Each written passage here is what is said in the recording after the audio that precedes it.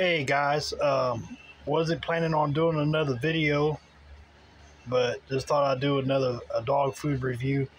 I have to tell you that man, it's made my dog look good. I'm really impressed. It's for all kinds of big dogs, pit bulls. Originally made for pe- owners of pit from uh, people that own pit bulls. It was made by people that own pit bulls. Um, the people that make the dog food, but it's maximum bully. Um, this stuff's high in protein Got a lot, of, a lot of omega threes, omega six, fatty acids. Don't mind this bag because it's empty. I just filled their container today. Um, and this stuff's on Amazon. I pay ninety dollars a bag, but a lot of y'all have seen my Great Dane. He's over there eating now.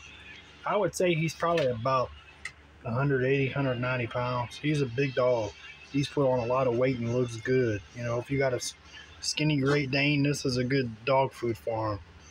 Because they eat well. He's probably ate about half of that dish over there. It was a full dish. He probably ate about half. Sometimes he'll eat a, eat a full one, but y'all see how good he's looking. I mean, he's really put on some weight.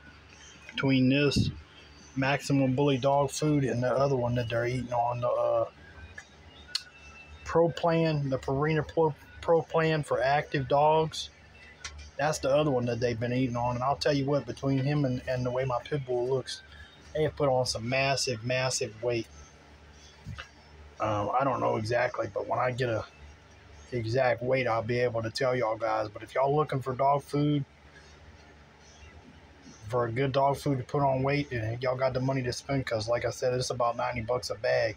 I get it through Amazon. You may be able to find it at your a local uh, store somewhere I don't know all where you guys are at. But uh, just thought I'd do that quick review.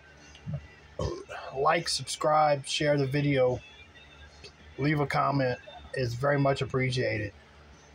Um, I love the view people viewing my YouTube videos. I love any support that I can get.